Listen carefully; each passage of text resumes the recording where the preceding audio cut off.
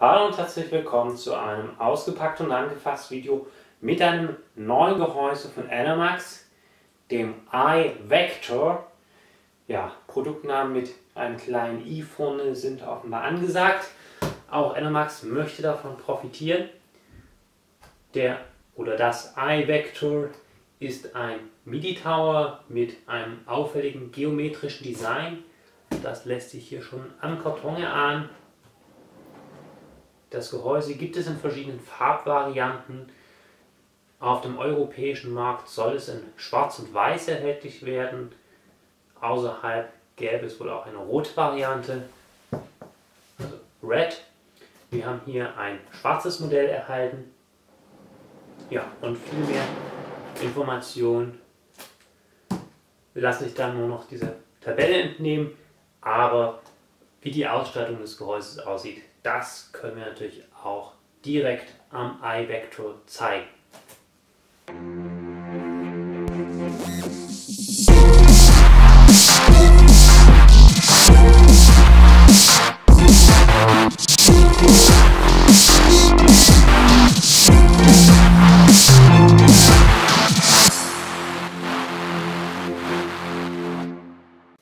Ja, auch am ausgepackten Gehäuse lässt sich diese geometrische Formsprache schön erkennen. Wir haben hier verschiedene Streben, die über Front und Deckel hinweg verlaufen. Dazu dann diese kantig eingesetzten Mesh-Elemente, hinter denen optionale Lüfterplätze sind.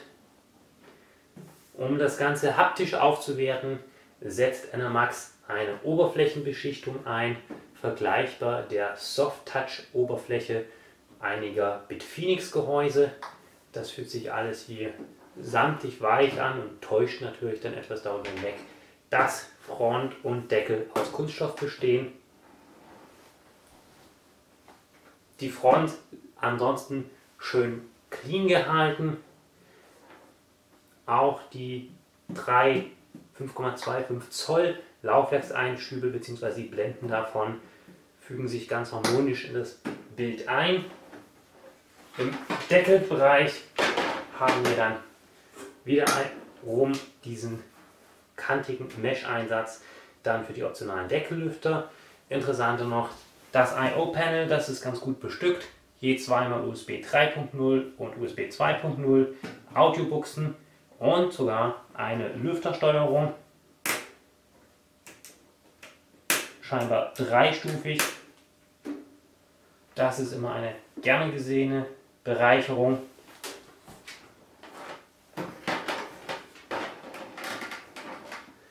Die Seitenteile beide geschlossen. Eine Window-Version war wohl im Gespräch. Auffällig diese Wölbungen, die haben zumindest auf der Seite auch einen praktischen Nutzen. Es ist einfach dann mehr Platz für das Kabelmanagement da. Auf der Seite könnte man hoffen, dass der Prozessorkühler dann auch etwas weiter herausragen kann. Das hängt sicher aber auch davon ab, wie sehr der Prozessorkühler in die Breite geht.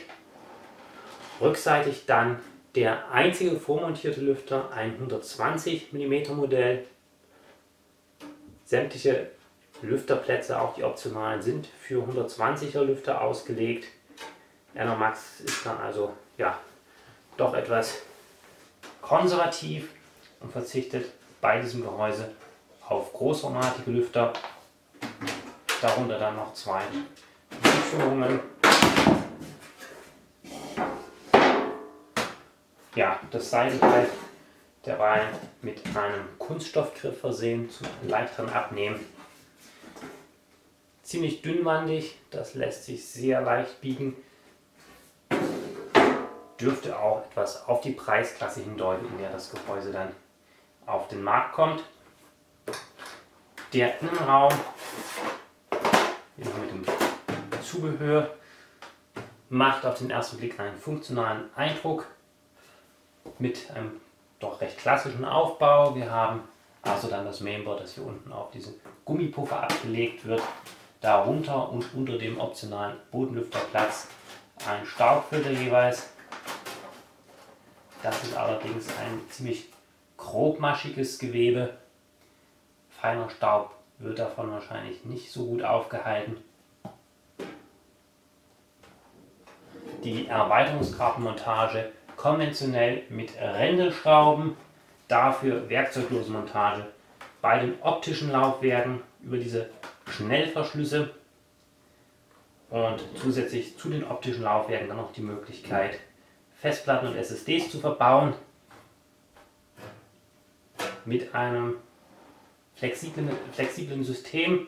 In dem unteren Käfig finden 3,5 Zoll Laufwerke Platz. Der obere ist jetzt für 2,5 Zoll Laufwerke konfiguriert. Die Wand hier lässt sich aber versetzen nach außen hin und dann könnte man auch hier 3,5 Zoll Festplatten unterbringen. Das ist so durchaus praktisch. Die Montage der Festplatten und auch der SSDs erfolgt über diese Montageschienen aus Kunststoff. Die haben hier kleine Gummiringe. Der eine hat sich schon gelöst. Das sollte dann also auch für eine gewisse Entkopplung sorgen. Also werkzeuglose Laufwerksmontage für alle Formate, keine werkzeuglose Montage der Erweiterungskarten. Da hätte man sich zumindest Ränderschrauben gewünscht. Kabelmanagement ist vorhanden in einer einfachen Ausbaustufe, also mit relativ wenigen Durchführungen. Dafür hier eine große Durchführung für die Montage von Prozessorkühlern mit Backplate. Der Abstand durch diese Wölbung des Seitenteils macht einen ganz guten Eindruck. Das sollte also dann recht komfortabel gelöst sein. Ja, auf den ersten Blick also ein relativ konventioneller MIDI-Tower, gerade auch was das Kühlsystem angeht. Positiv die Laufwerkskäfiggestaltung und ja, natürlich kleine Features wie diese Lüftersteuerung hier im Deckelbereich, die das Ganze dann aufwerten.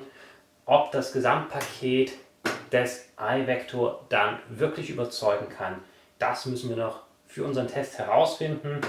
Den Testbericht gibt es dann in Kürze auf hardwarelux.de.